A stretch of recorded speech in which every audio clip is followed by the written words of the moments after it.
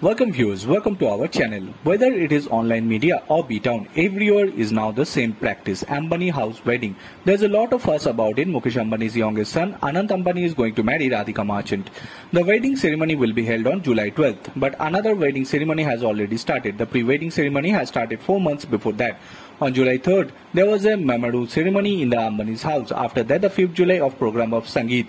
American pop star Justin Bieber came to sing Radhika Anand's music. Remuneration is about 83 crore rupees. This is not the first time that stars like Rihanna, Katy Perry, Pitbull, Shakira came to sing at Anant Radhika's two pre-wedding functions. And any Ambani's event is incomplete without the Bollywood star. Their house is crowded with Khans, Kapoors and Kumars in all small and big events. The stars are also looking forward to going to the wedding ceremony Ambani house. Anurag Kashyap's daughter Alia Kashyap did not accept the wedding invitation. Anurag Kashyap was never very close to Bollywood stars. Rather, he has a bad reputation for being a stickler.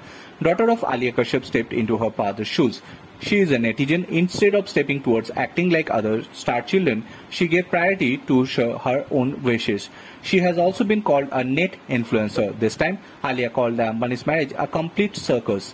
She also said she was invited to the wedding, but Anurag Kanya refused to go.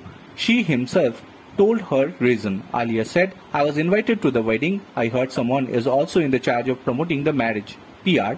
But I still have some self-respect. I cannot go to people's wedding and sell myself. Bureau report.